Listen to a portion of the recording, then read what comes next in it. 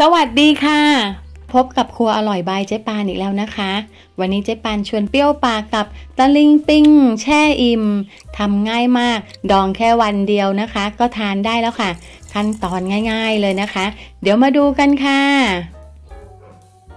นำตะลิงปิงมาล้างให้สะอาดนะคะ เด็ดหัวท้ายที่เป็นขั้วดำๆออก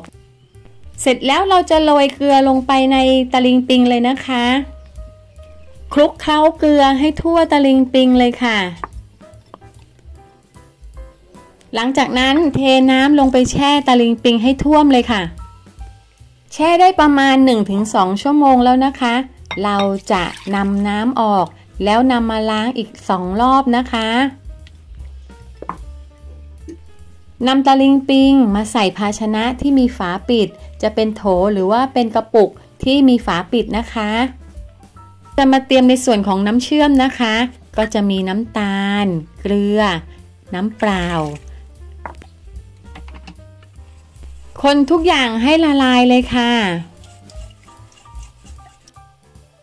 เสร็จแล้วนำน้ำเชื่อมมาตั้งไฟให้เดือดแบบนี้เลยนะคะ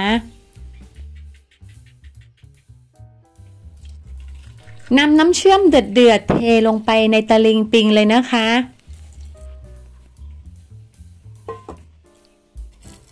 ความร้อนจากน้ำเชื่อมจะทำให้ตะลิงปิงยิ่งกรอบขึ้นค่ะ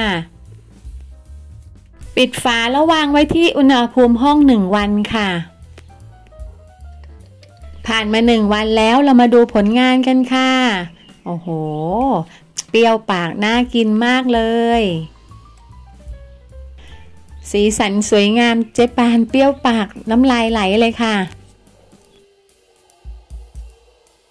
แบ่งใส่กระปุกเก็บไว้ทานได้นานๆเลยนะคะ หรือเพื่อนๆจะต่อยอดนำไปทำขายก็ได้ค่ะ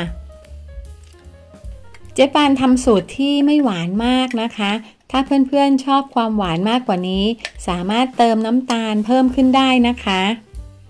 ถ้ายังทานไม่หมด เก็บเอาไว้ในตู้เย็นนะคะ จะได้เก็บไว้ได้นานๆบ้านไหนปลูกตะลิงปิงนะคะ หรือว่าใครที่อยากทาน ทำได้ง่าย ๆเลยค่ะเพื่อนๆ น่าทานมากเลยค่ะ เจ๊ปานขอชิมหน่อยนะคะ โอ้โหเปรี้ยวปากมากๆเลย อร่อยสุดๆ เจ๊ปานขอตัวไปทานตะลิงปิงก่อนนะคะ เพื่อนๆลองทำดูนะคะ ขั้นตอนง่ายๆทำแค่วันเดียวก็ทานได้แล้ว ฝากติดตามครัวอร่อยบายเจ๊ปานด้วยนะคะ ขอบคุณมากค่ะ สวัสดีค่ะ